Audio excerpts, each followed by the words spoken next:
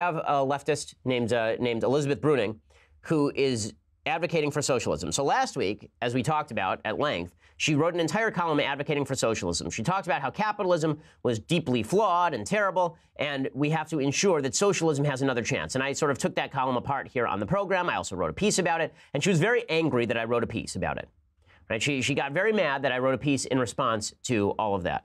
Uh, and what she was particularly mad about is that I pointed out that Venezuela, Cuba, Soviet Union, North Korea, China, these are not good countries to live.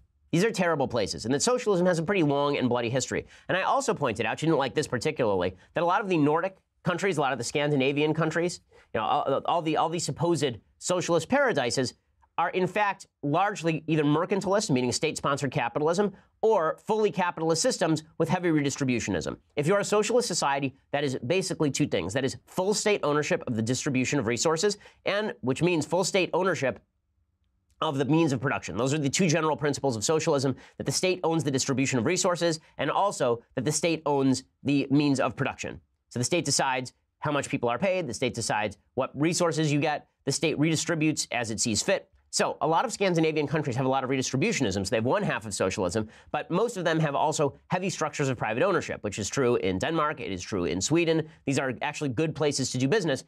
If anything, they're more mercantilist than they are socialist because these are not places where they are redistributing all resources inwardly. They're not nationalizing every industry. Instead, they are sponsoring and subsidizing particular private industries in large ways. Okay, that's that's fairly typical of these Nordic systems. So she's back and she's mad. So first, she starts off her column today talking about how I was mean to her, about how I strawmanned her. She says that I was arguing in bad faith, and then she gives a, a two-paragraph long description of what it means to argue in bad faith, which is idiotic because I was not arguing in bad faith.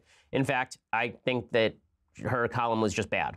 Right? It wasn't that I, it wasn't that I was faking it. It wasn't that I was trying to create up a straw man. I just think her original column was bad. She was particularly mad that I mentioned Cuba, Soviet Union, Venezuela because she says, "How dare you suggest that I want America to become those places?"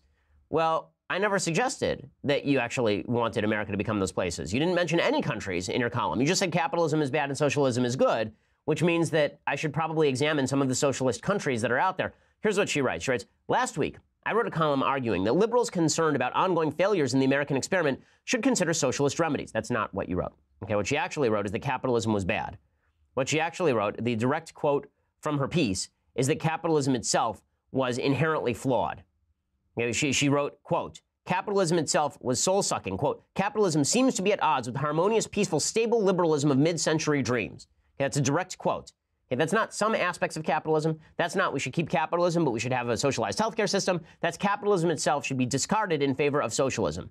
So she says, Last week, I wrote a column arguing that liberals concerned about ongoing failures in the American experiment should consider socialist remedies. Again, not what she wrote. She said, I knew there would be quite a bit of disagreement, and I knew that most, though crucially not all of it, would unfold in bad faith. In the case of my column, this meant many interlocutors taking socialism to mean something along the lines of Soviet communism or the Venezuelan system, Gen- genocides, calamities, disasters, and all. I don't think anybody actually believes I'm rooting for totalitarian forms of socialism, nor for its most devastatingly ill mannered variants. I said I wasn't, after all. If one genuinely thought a person was campaigning for genocide, one surely wouldn't engage with someone so unreasonable.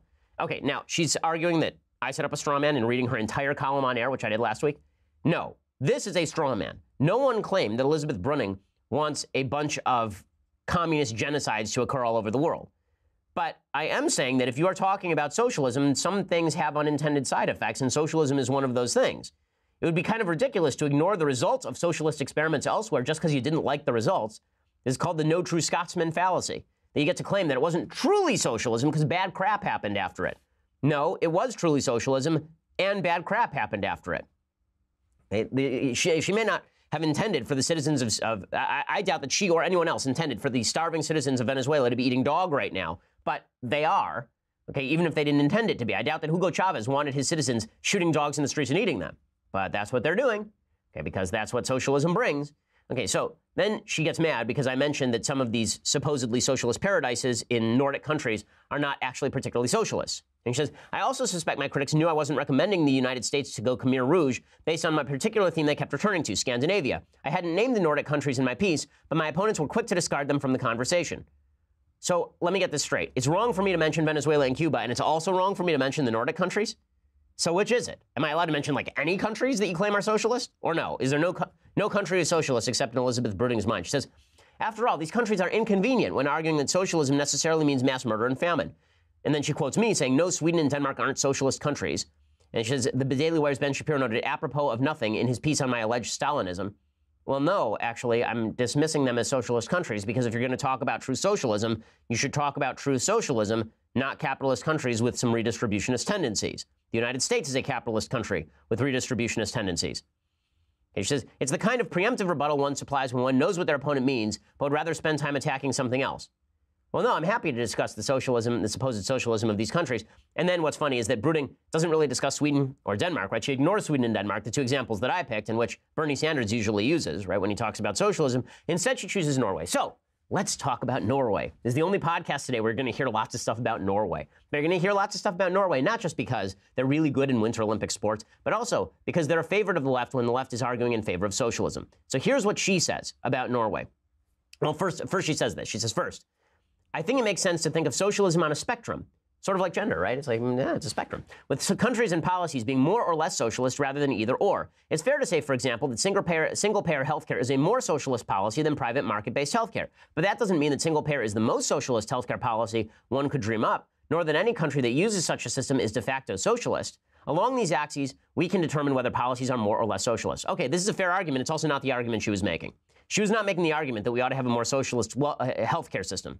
And lots of people have made that argument, and I've explained why I think that argument is wrong. She was arguing that capitalism wholesale should be junked.